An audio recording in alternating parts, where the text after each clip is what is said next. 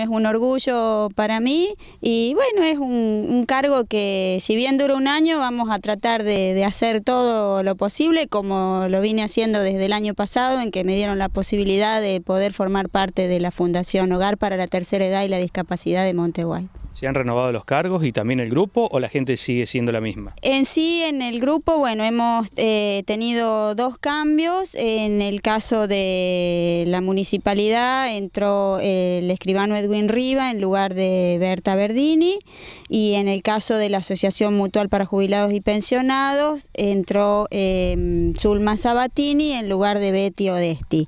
Eh, y con respecto a los cargos, bueno, por estatuto eso sí o sí todos los años se debe renovar lo que es la presidencia y vicepresidencia y queda librado a la Secretaría y en el caso de la Tesorería también, bueno, eh, este año le correspondía la presidencia eh, a la municipalidad y bueno, recayó sobre mí el cargo de presidente, vicepresidente el escribano Edwin Riva, en el cargo de secretario Osvaldo Casiamani y en tesorería continúa Daniel Calamante.